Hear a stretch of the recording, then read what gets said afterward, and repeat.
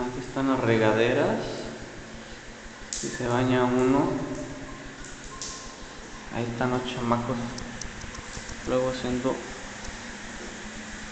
sus cosas. Bueno, vamos a ver. Aquí está el baño que les había mostrado la otra vez. Ahora es de día. Es un cascadero de agua. Viene el agua. Parece un riachuelo. Aquí no tiene puertas, como pueden ver no tienen puertas. Así que pues te agarran la aguilita casi siempre y ahí está toda la cochinada.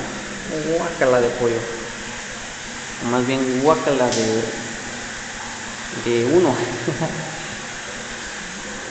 bueno, ahí también está el escurridor de agua.